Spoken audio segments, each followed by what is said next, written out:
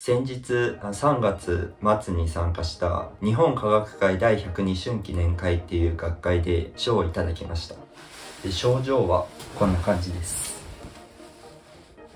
前 CSJ 科学フェスタでもらったのと似た感じで周期表のファイルに入れられて送られてきました。で Twitter 上でもあのこんな感じで皆さん受賞報告しててなんかちょっと交流ある人たちともなんか一緒に受賞できたので良かったです。でまあこれで自分あの去年参加した学会いろいろあるんですけど賞が出るやつは全部多分賞を取ってることになるんですけどいや人生この先こんなことあるって感じで。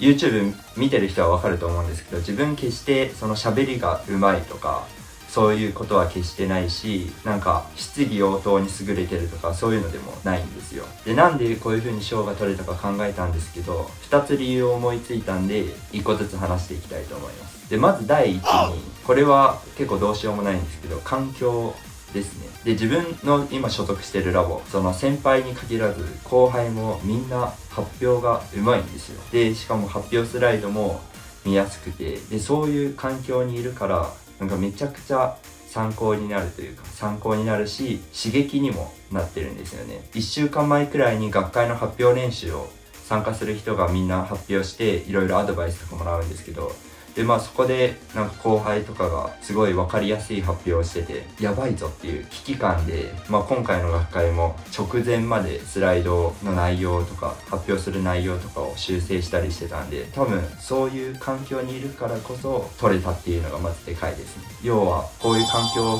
築いてくれた、まあ、先生のおかげですねこれは。で2つ目にこれは自分が誰にも負けてないなっていう自信があるところなんですけどそれは研究を楽しんでいるところです。発表もその楽しさを前面に醸し出しながら発表してると、まあ、賞を取りやすいなっていう印象です。まあ、なので、ぜひ皆さん、もし賞を目指していたら、楽しさを前面に押し出すような発表をしてみるといいと思います。今日の動画は以上です。また次回の動画でお会いしましょう。